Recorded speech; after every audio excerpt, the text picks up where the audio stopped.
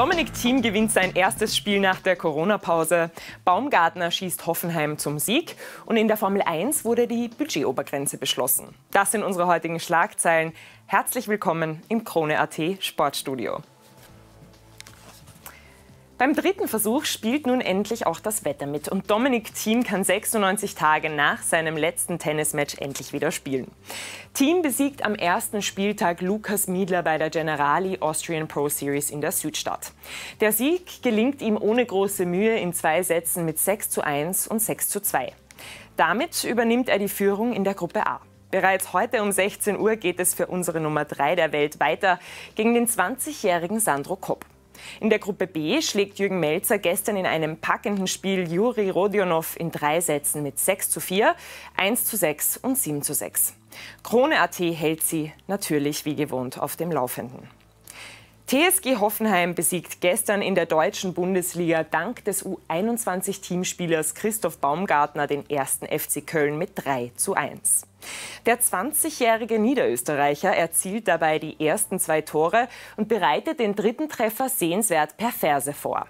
Neben dem Mann des Abends spielten für den TSG auch die ÖFB-Legionäre Florian Grillitsch und Stefan Posch von Anfang an.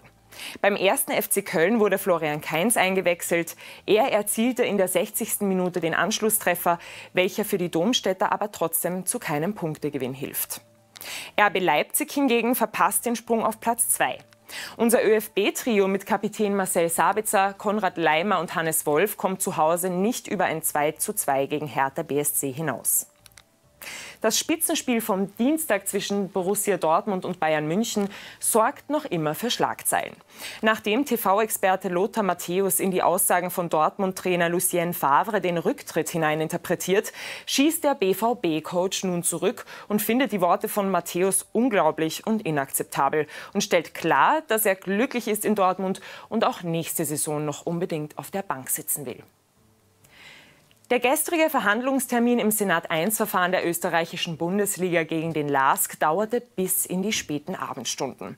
Dabei zieht sich Staranwalt Norbert Wess aus den Verhandlungen zurück, um jeden Anschein einer allfälligen Befangenheit zu vermeiden, da er in den vergangenen Jahren in seinem Zivilberuf den LASK vertreten hat. Ein Ergebnis gibt es nach langen Verhandlungen trotzdem nicht. Laut Presseaussendung wurde die Sitzung auf heute Nachmittag vertagt. Die Fußball-Bundesliga beschloss gestern, dass keine Verfahren gegen weitere Clubs der österreichischen Bundesliga eingeleitet werden, da es sich hier nur um Einzelfälle handelt.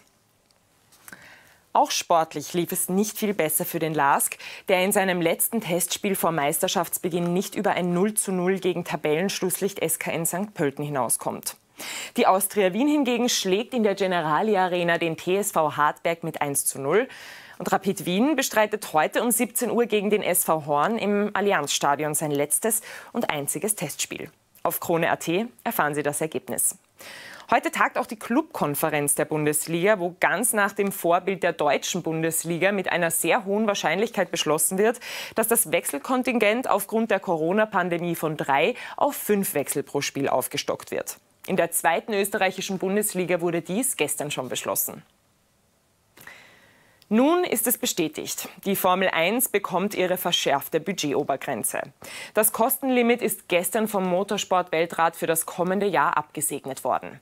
Die Grenze pro Rennstall liegt 2021 bei 133 Millionen Euro. 2022 sinkt das Limit auf 128 Millionen Euro. Und ab 2023 soll es nur mehr bei 123 Millionen Euro liegen. Die Fahrergehälter fallen nicht unter das Limit. Die einst beschlossene Obergrenze von 160 Millionen Euro pro Team und Jahr wurden aufgrund der Corona-Krise, die auch in der Formel 1 zu einem Umdenken geführt hat, noch einmal gesenkt. Vor allem Ferrari hatte sich zuletzt gegen eine Senkung der Ausgabengrenze ausgesprochen. Das waren unsere heutigen Schlagzeilen. Ich wünsche Ihnen noch einen schönen Donnerstag und bis zum nächsten Mal im Krone.at Sportstudio.